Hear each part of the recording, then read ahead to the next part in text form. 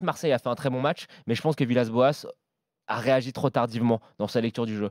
Euh, à la 60e, à un moment, quand il fait sortir Morgan, Sanson, qui était euh, en dessous de Maxime Lopez, et qui fait rentrer euh, Radonic couloir gauche, il repasse en 4-2-3-1. Dimitri Payet se remet derrière l'attaquant, et là, Marseille devient plus tranchant parce que je suis désolé, même si Marseille a donné sur l'ensemble du match, jusqu'à ce changement-là, une impression générale assez positive, ça manquait quand même de, de, dangerosité dans les 30 derniers mètres. Et en fait, ce que je reproche à Villas-Boas, c'est de ne pas avoir fait ce changement tout de suite parce que tu rentres à la mi-temps, tu es mené 1-0.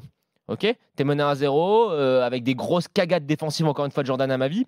T'es mené à 0. Je pense que le changement, tu devais le faire beaucoup plus tôt parce que dès les 30 premières minutes de jeu, ce qui apparaissait très clairement, c'est que Benedetto était trop esselé devant, pris dans cette défense à 5, que Payet, t'avais du mal à trouver, à trouver Pipa, avait trouvé des mal à trouver ces angles de passe là, et qu'à chaque fois, t'étais un petit peu euh, étouffé dans l'axe. Donc, attention, pour finir. Toi qui veux jamais pour finir, pour finir. Et là, tu me dis qu'il fallait le faire Ludo, arrête de me couper. Pour finir, sur Radonic, justement, j'allais, y venir. Radonic, moi, je trouve pas que ce soit un très bon joueur. Je pense qu'on a payé trop cher pour, le, pour ce qu'il vaut. Mais en tout cas, ce qui a noté, c'est qu'en match de préparation, je les ai tous vus, il a été quand même assez intéressant mais il jouait couloir gauche.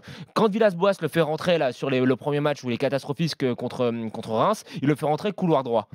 Là, il est cataclysmique. Là, il le met couloir gauche, il est décisif parce qu'il est sur l'action du but. Donc Radonic, même si je pense que c'est pas, ça sera jamais un foudre de guerre, si tu l'utilises bien, que tu le mets couloir gauche et pas couloir droit comme il avait fait auparavant, ça peut donner quelque chose. Mais voilà, ce que je, ce que je déplore, c'est euh, voilà que Marseille a fait un bon match, mais que Villas-Boas aurait dû réagir un petit peu plus tôt.